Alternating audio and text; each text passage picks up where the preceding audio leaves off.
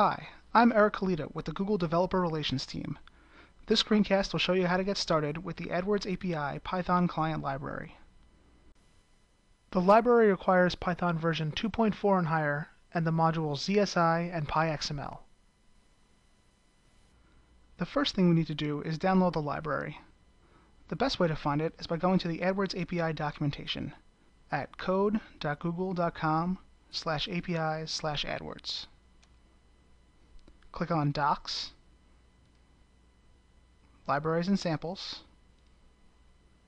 and Python Client Library. This is the main project page of the client library.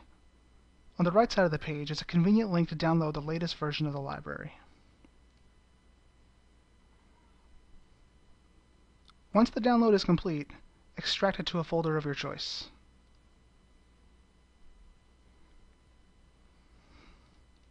The first thing we need to do is install the library. Open a command prompt and navigate to the folder you extracted the library to. Next, run the script setup.py with the parameters build and install. Now that the library is installed, we can set the authentication and configuration information. To do that, run the script aw api config.py. This will launch an interactive script, which will ask you for the required configuration values. When testing a new library, it's best to use a sandbox account. More information on the sandbox environment is available in the screencast Intro to the AdWords API Sandbox. Enter your sandbox credentials, starting with the email, password, client email, which will contain one of the automatically generated client accounts.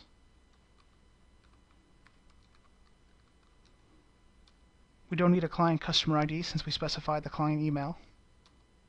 A user agent that identifies your application. A developer token, which in the sandbox is the email address plus plus a currency code. The application token is ignored in the sandbox. The SOAP library, ZSI in this case, will disable debugging mode, which displays the raw SOAP XML requests as they're being made, but enable SOAP XML logging and request logging. We're now ready to run our first example. Navigate to the examples directory, and then the subdirectory for the version of the API you wish to test. We'll start by running the example get all campaigns.py.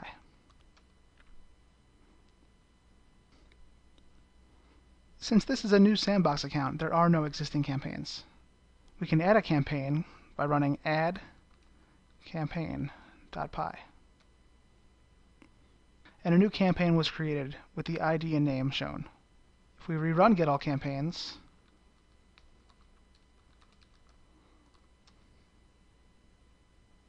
we can see that the new campaign was found. As you can see, the campaign was initially created in the pause state, so let's write our own example to make it active.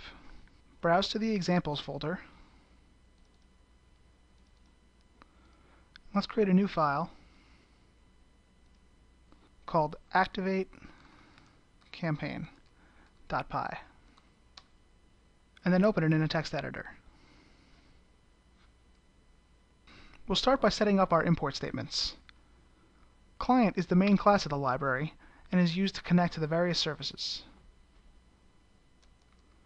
Next, we'll create a new client object, setting the path parameter to the directory where the authentication and configuration files are stored. We'll get an instance of the campaign service by running client.getCampaignService, passing in the server and version of the API. Next, we'll set the campaign ID. This value can be retrieved from the output of the previous examples.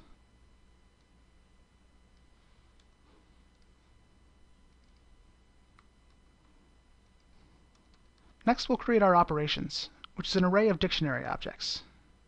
Since we are updating the campaign, we'll set the operator to set and the operand to a campaign object, with the ID that we set earlier and the status of active. We're now ready to make a request against the API. by calling the campaign service mutate method, passing in the operations we've defined.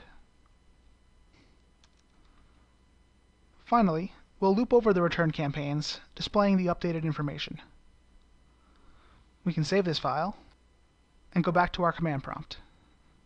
We can now run activate campaign.py.